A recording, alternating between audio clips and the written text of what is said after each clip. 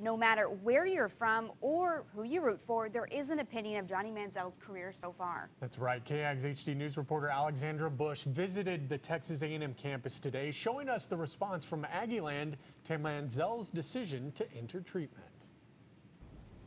Loyalty. That's one of the principles Texas A&M stands by, and that's what students are showing Johnny football. Aggies always support each other, and so I think this will will definitely um, have his back during this time of need. He's been such a role model to so many, um, and in ways it's cool that he's humbled himself to do that. But at the same time, uh, it's kind of a scary thought to you know to know a role model um, has checked himself into rehab. So.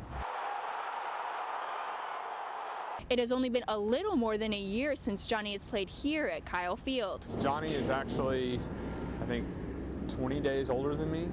23 days older than me, something like that. The vast majority of college student substance abusers are recreational users. And they have this mentality that this is all part of the college experience and that when they uh, exit college, they'll stop. Um, and for most of them, that's true.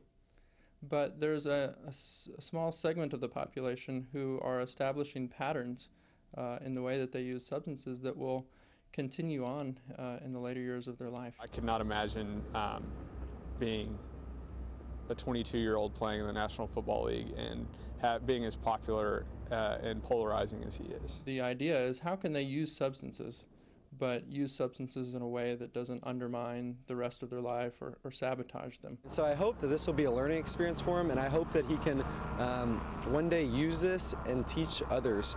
Um, because, like I said, people want to see Johnny Manziel. And Aggies would love to see him back on the field. In College Station, Alexandra Bush, KAGS HD News.